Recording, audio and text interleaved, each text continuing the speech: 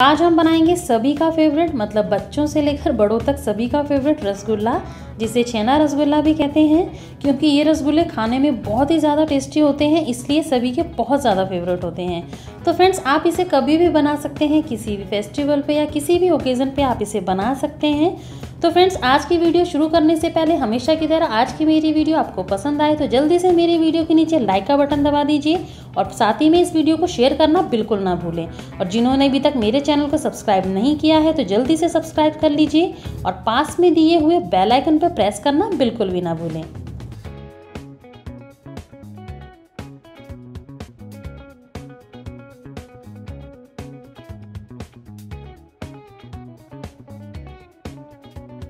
Friends, rasgulla बनाने के लिए सबसे पहले हमें छेना बनाना होगा। तो छेने के लिए हमें चाहिए दूध। तो यहाँ हमने एक लीटर फुल क्रीम दूध लिया है।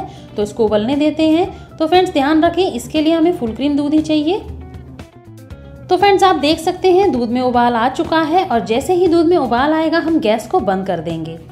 क्योंकि हमें गर्म दूध को नहीं फाड़ना है, क्योंकि अगर हम गर्म दूध को फाड़ेंगे तो जो हमारे रसगुल्ले हैं, वो हार्ड बनेंगे तो इसलिए हम इसमें डालेंगे आधा गिलास नॉर्मल पानी, जिससे कि ये दूध है, जो थोड़ा सा नॉर्मल हो जाए मिक्स कर देंगे और अब हम इस दूध को फाड़ेंगे। तो दूध को फाड़ने के लिए यहाँ पे मैं सिरके का यूज़ कर रही हूँ। यहाँ पे मैंने दो चम्मच सिरका लिया है। अगर सिरका नहीं है तो आप नींबू का यूज़ भी कर सकते हैं।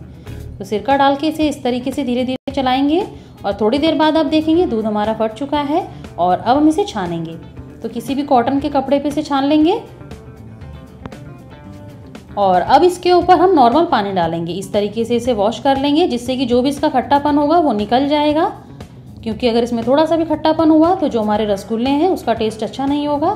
तो पानी डालने के बाद इसे इस तरीके से निचोड़ लेंगे अच्छी तरीके से।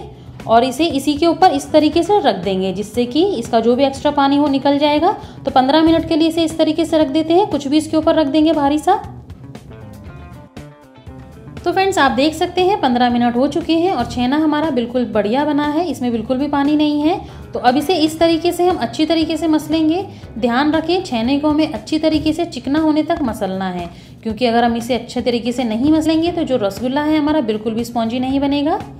तो कम से कम पाँच से सात मिनट तक हम इसे इस तरीके से हथेलियों की हेल्प से मसलेंगे, जैसा आप वीडियो में देख रहे हैं। और पाँच मिनट बाद आप देखेंगे, जो छेना है, हमारा हल्का सा चिकना हो गया है। तो अब इसमें हम ऐड करेंगे सूजी। ये वन टीस्पून सूजी है, इसे डाल देंगे। इसे डालने से जो रसगुल्ला है, हमारा बहुत ही ज़्यादा स्पॉन्जी बनेगा। और साथ ही में हम इसमें डालेंगे वन टीस्पून कॉर्नफ्लोर अगर कॉर्नफ्लोर नहीं है तो आप इसकी जगह पे मैदे का यूज़ भी कर सकते हैं, जिससे कि जो हमारे रसगुल्ले हैं, वो फटे ना। और फिर से हम इसे पाँच से सात मिनट तक अच्छी तरीके से मस लेंगे। जैसा आप वीडियो में देख रहे हैं इस तरीके से।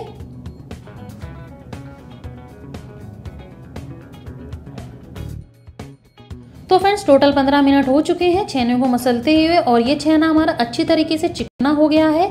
अब हम इसमें से रसगुल्ले बनाएँगे। तो छोटे छोटे इसमें से लोई ले लेते हैं। ध्यान रखें, ज़्यादा बड़ी लोई नहीं लेनी है, क्योंकि जो रसगुल्ले का साइज़ है वो डबल हो जाता है, इसलिए हम इसमें से छोटी छोटी लोई बनाएँगे। तो एक छोटी सी लोई इस तरीके से बनाएँगे, दोनों हथेलियों के बीच में इस लोई को रख के इस तरीके से घुमाएँगे, हल्के हाथों से, ज़्यादा टाइट हाथों से नहीं घुमाना है। तो ये देखिए फ्रेंड्स ये वाला रसगुल्ला बनके हमारा तैयार है, इसी तरीके से सारे रसगुल्ले बना लेते हैं। तो फ्रेंड्स एक किलो दूध में टोटल ग्यारह रसगुल्ले बनके हमारे तैयार हुए हैं। आप देख सकते हैं कितने बढ़िया बने हैं। तो फ्रेंड्स रसगुल्लों को उबालने के लिए यहाँ पे मैंने कढ़ाई ली है तो ध्यान रखें, इसके लिए कोई चौड़ा ही बर्तन लें या तो कढ़ाई या पतीला या कुकर आप कोई भी ले सकते हैं। अब इसमें हम पानी डालेंगे। तो पानी हम इसमें डालेंगे तीन गिलास के करीब। और तीन गिलास पानी डालने के बाद अब इसमें हम चीनी डालेंगे। तो चीनी यहाँ पे मैं डेढ़ कप डाल रही हूँ। तो आप चीनी को थोड़ा सा कम भी डाल सकते हैं। तो डेढ़ कप चीनी डाल देते हैं। और इसी में हम अब थोड़ा सा दूध डालेंगे। दो या तीन चम्मच के करीब ज़्यादा दूध नहीं डालना, जिससे कि जो भी चीनी की गंदगी है, वो निकल के ऊपर आ जाएगी। और अब इसे हम मीडियम फ्लेम पे इसी तरीके से पकने देंगे और इसे अच्छी तरीके से उबलने देंगे। देख सकते हैं, पानी में उबाल आ चुका है और साइड की जो गंदगी है, उसे हटा देते हैं। तो फ्रेंड्स अगर आपके पास नींबू है तो आप नींबू को आधा काट के डाल दें। वही यूज़ करें। मेरे पास नींबू नहीं था, इसलिए मैंने दूध का यूज़ किया था। अगर नींबू है तो आप इसमें नींबू ही डालें। उससे क्या होगा? उससे पानी एकदम साफ़ हो जाएगा। फ्रेंड्स ये देखिए, चाशनी हमारी एकदम साफ़ हो चुकी है। कितनी क्लियर दिख रही है। अब हम इसमें एक एक करके रसगुल्ला डालेंगे तो गैस को मीडियम फ्लेम पे कर देंगे और एक एक करके इसमें रसगुल्ला डालेंगे। और ध्यान रखें, रसगुल्ले डालने के बाद हमें इसे बिल्कुल भी नहीं चलाना है, रसगुल्लों को बिल्कुल भी नहीं छिड़ना है, नहीं तो हमारे रसगुल्ले टूट जाएँगे। अब इसे ढक देंगे और 15 मिनट तक ऐसी मीडियम फ्लेम पे पकने देंगे। तो फ्रेंड्स, टोटल 15 मिनट हो चुके हैं। बीच में हमने चेक किया था 10 से 12 मिनट बाद तब हमारे रसगुल्ले नहीं बने थे और 15 मिनट बाद ये देखिए, रसगुल्ले हमारे बिल्कुल डबल साइज़ के हो गए हैं और कितने बढ़िया रसगुल्ले बने हैं, आप देख सकते हैं। एकदम स्पॉन्जी है, ये देखने में ही लग रहे हैं। तो गैस को बंद कर देंगे और इसे ठंडा होने देंगे। तो गैस को बंद कर देते हैं। फ्रेंड्स रसगुल्ले हमारे ठंडे हो चुके हैं। अब इसमें हम ऐड करेंगे केवड़ा एसेंस अगर ये नहीं है तो आप इसे अवॉइड कर सकते हैं। ज़रूरी नहीं है डालना। तो मैंने इसमें हाफ़ टी स्पून से थोड़ा सा कम केवड़ा एसेंस डाला है और डालने के बाद इसे मिक्स कर दिया है। इससे बहुत ही अच्छा फ्लेवर आता है इसमें। और आप देख सकते हैं कितने बढ़िया रसगुल्ले बने हैं। तो अब हम इन्हें सर्व करेंगे। देखने में ही बहुत ही ज़्यादा स्पॉन्जी लग रहे हैं ये। तो ये लीजिए फ्रेंड्स, रसगुल्ले बनके हमारे तैयार हैं। तो फ्रेंड्स, ये लीजिए, ये रसगुल्लों को हमने सर्व कर दिया है। इनको और ज़्यादा अट्रैक्टिव करने के लिए हम इसके ऊपर थोड़ा सा केसर डालेंगे, जिससे कि ये दिखने में बहुत ही ज़्यादा यम्मी लगे।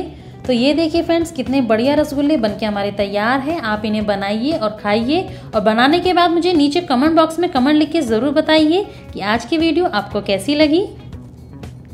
तो फ्रेंड्स वीडियो पसंद आए तो लाइक शेयर एंड सब्सक्राइब करना बिल्कुल ना भूलें। तो जल्दी ही मिलेंगे नेक्स्ट वीडियो में एक नई रेसिपी के साथ।